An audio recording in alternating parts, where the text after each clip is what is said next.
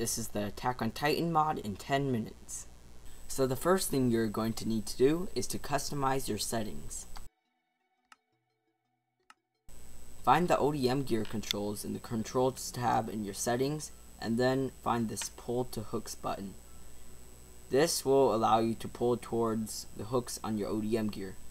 You want to set this to something easily accessible. For me, this is one of the buttons on the side of my mouse.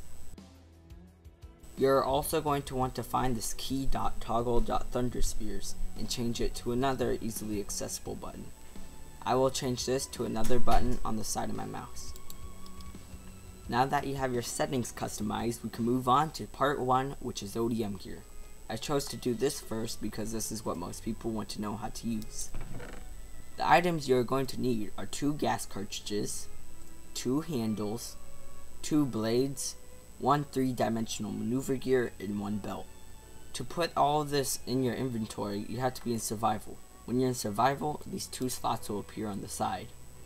First, you have to put in the belt, then the three-dimensional maneuver gear.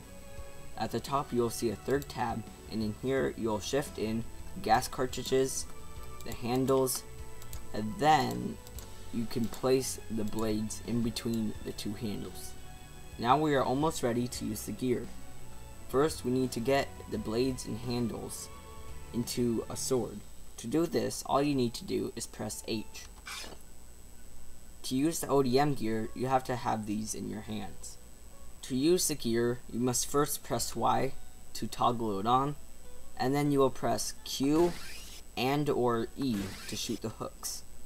Now to pull to the hooks, you will use the button that was set earlier. For me, I set it as the button on the side of my mouse. Also, with the gear, you can press F to toggle the super boost mode. And with this, you'll be able to jump higher and run faster, but it will use up the gas cartridges more. I have a whole video covering this topic. If you want to check it out, there will be a link in the description, or you could click the card at the top of the screen. Next, we will be moving on to the clothes in this mod. Why I chose to do this second is because the army boots are important for when you're using the ODM gear. This will negate 50% of the fall damage taken. Other items are the hat, army leggings, and garrison jackets. These can all be put into your normal armor slots. All these other items that you see here will have to be put on the second tab at the top. They will be put in these five slots right here. For example, I'm going to put on this cape. And now that it's in here, you are able to toggle it on and off. Now we are going to move on to weapons. The first thing we are going to be using is the rifle. For this, you'll need the empty rifle, and then these bullets.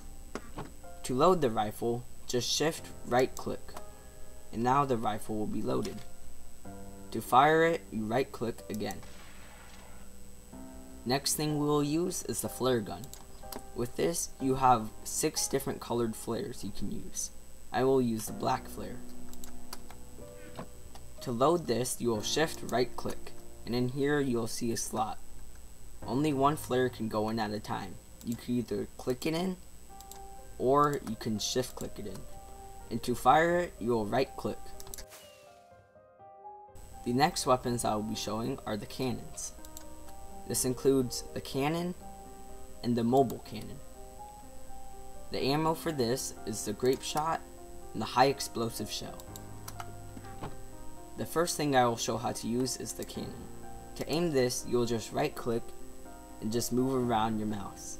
Once you find a good position you want it to be in, you will left shift and you will dismount. To load the cannon, you will hold the ammunition and then you will go up to it and shift right click. Now that it is loaded, to launch it, all you will need to do is shift right click again. The mobile cannon is similar, but this one you are able to move with the WASD keys. Once you have it in the position that you want, left shift off. To load the ammunition, you will shift right click. And then to fire it, you will shift right click again. The next weapons I will be showing how to use are the sword and the knife. We have already seen this sword because of the ODM gear. And this is like any normal sword in Minecraft. The knife is the same. You use it to stab. The final weapon I will be showing is the Thunder Spears. To do this, you'll go into your inventory and go into the third tab at the top. From here, you'll shift click these in. They'll go into these two slots right here. To use them, you'll toggle on the ODM gear again with Y. Now to change to the Thunder Spears, you will push the button that was set earlier. For me, it was one of the buttons on the side of my mouse. Now that we have them in our hands, to fire them you simply need to right click and or left click.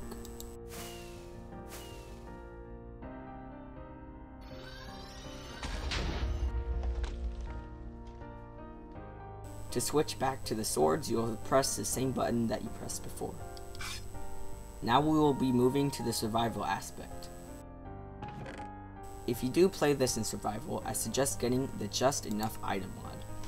With this, you can click on the item that you want to know how to craft and it will show you how to craft it. The first survival thing I will be talking about is the Ice Burst Stone. In survival, you will find this randomly generated throughout the world. If it's exposed to too much heat, it will explode. The same with these shards that you will get if you mine the ice burst stone with an iron pickaxe. To carry these shards, you will need a special container so they don't explode. This special container is the ice burst canister. To use this, you will hold it and shift right click. And here you have 10 slots for the shards. In order to make this canister, you will need this ultra hard steel ingot. And to make this, you will need a blast furnace, obsidian, iron ingot, and lava bucket. You will put these items into the furnace, shift clicking the lava bucket, it will go into the very left slot, and then the obsidian will go into the top slot, and the iron ingot into the bottom slot. Now it will take one obsidian and one iron ingot and turn it into the ultra hard ingot. This does take a while. You can also make reinforced diamond. You'll follow the same process, but instead of obsidian, you'll use diamond, and instead of iron ingots, you'll use ultra hard steel ingots. Now that you are able to make the ice burst canister, when you fill it up, you'll need to empty it into this evaporator. This evaporator will evaporate the shards and send it into this gas tank. This gas tank will be used to fill up gas cartridges. I have this ice burst canister here, and I'll just shift click it in and immediately the machine will start evaporating the shards. Now you can take a gas cartridge and hold down right click on the machine.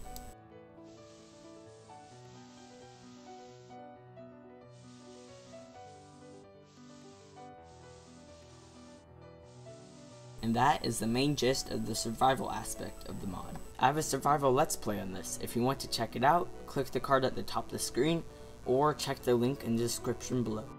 Some miscellaneous items that didn't really fit in the other categories are first, the wall.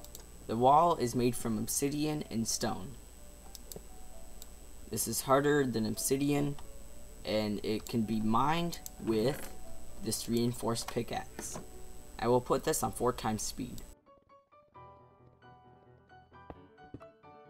The next thing I will show is the glowing ore. I have yet to see this, but I would assume that it spawns randomly in survival. To mine this, you'll just use the pickaxe, and you'll get this glowing ore rock. With this glowing ore rock, you can either make four of them in this grid to craft the block again, or you can use it to craft this lamp. When you hold this lamp, it will give off light. You can't see it right now because it's daytime, but when it's nighttime, it will give off light. The final part of this mod that I want to show is this Titan injection. As of yet, it doesn't do anything except for a few effects. To inject it, you right click, you'll be given these four effects, and then you're struck with lightning.